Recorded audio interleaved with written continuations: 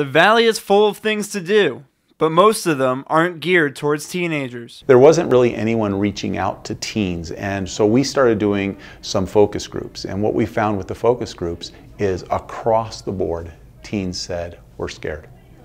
We're just scared. We have no place to go. The Rock at 32nd Street is a new teen center founded by Alice Cooper's organization, Solid Rock, and it is attempting to be the place where teens want to go. Before, I used to just like walk around outside with friends and like go to stores and just hang out. So this is like a nice place where they made it for us to hang out. We actually have a place to go.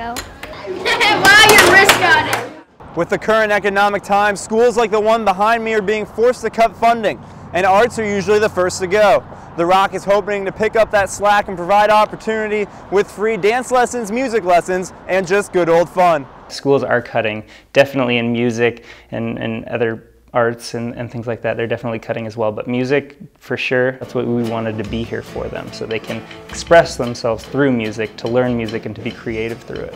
They also want to help get kids off of Phoenix streets and away from potential trouble. Alice's big thing is let's take the 9 millimeters out of the kid's hand and give them a guitar instead. We might find the next Alice Cooper or you know, Ted Nugent or whoever it may be. It's, it's by giving them some way to express themselves. The Rock is located next to Greenway Square, which is one of the worst crime spots in Phoenix. The new center hopes to change that.